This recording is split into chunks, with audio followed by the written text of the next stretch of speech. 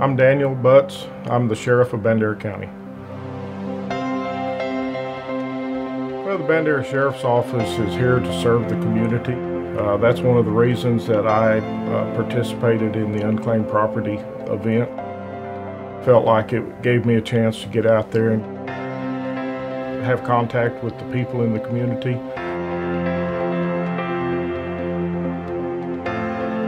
We had two events here in Bandera.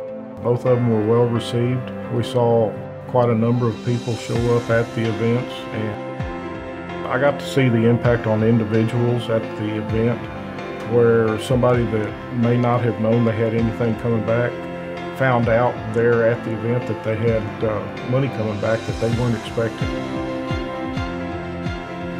You know, this money belongs to the people out here in the community.